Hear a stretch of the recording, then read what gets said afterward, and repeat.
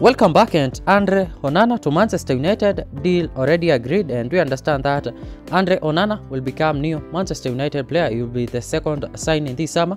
We understand that Manchester United had already signed Mason Mount from Chelsea and last night we saw that Andre Onana to Manchester United deal was done and he will be joining Manchester United. Now they will be working on contracts and paperwork, then book medical for Andre Onana. It is also reported that Andre Onana will sign contract until June 2028 plus option for further season until 2029. Andre Onana will be announced as new Manchester United player later this week. Welcome to Manchester United, Andre Onana.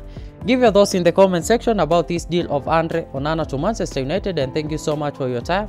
Smash the like button, smash the subscribe button if you are new, stay safe and see you in the next video.